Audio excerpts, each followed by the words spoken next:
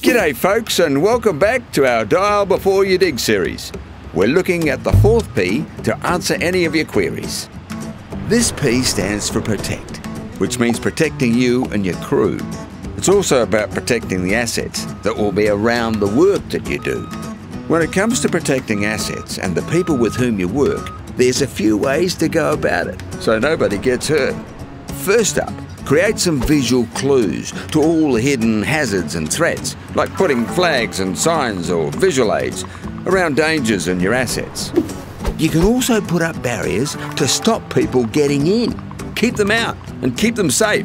If you ask me, that's a win. Thirdly, when there's something exposed and there's not much soil keeping it in place, give it some support that's nice and strong. This will vary from case to case. So always give members a toodaloo if you're stuck and don't know what to do. And a final reminder to always be aware. Don't just think of your workspace, think beyond the square.